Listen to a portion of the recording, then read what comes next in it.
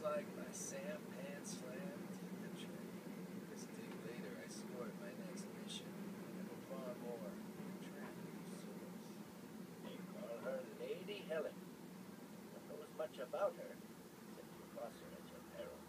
And Lord Zane trusts her with his life. Look at her. Shao Kai, your raid has convinced the merchant Hawk to extend his hand in friendship. In other words, he's offering the Shadow Clan tribute if we promise not to turn his sampans into toothpicks. Very good. And you get to collect it.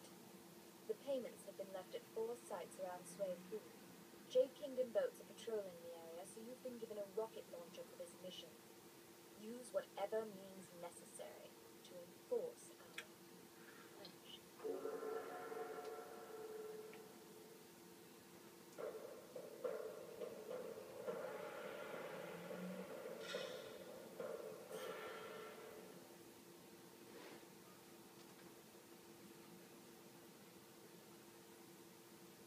Collect all four treasure chests.